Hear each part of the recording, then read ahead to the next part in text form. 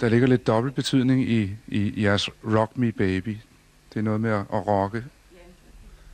Ja, det er, det er jo grebet på den måde, at da vi ligesom, øh, vi snakker meget øh, i mange af teksterne om, om øh, det med idolerne og sådan noget, ikke? Og, og så samtidig så handler sangen om, at man skal rocke ved tingene. At, at du må selv rocke ved det, hvis der skal ske noget. Og så synes, vi, synes vi, det var meget sjovt at, at bruge ordet rock me baby, som de fleste jo nok ved. Også fordi vi kan godt lide at spille rock, og jeg tror også, der er mange, der Ja. godt kan lide at høre rock. Ja, I skal få lov at spille noget mere rock. Tak.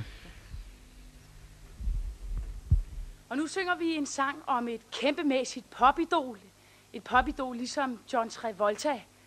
Øh, Nemlig et popidol, som der tjenes masser af penge på. Det er ikke bare ham, som tjener penge. Det er også alle de mennesker, som står bag ham, som er interesseret i det der kæmpemæssige popidol. Nu skal I bare til løje. 1, 2, 3!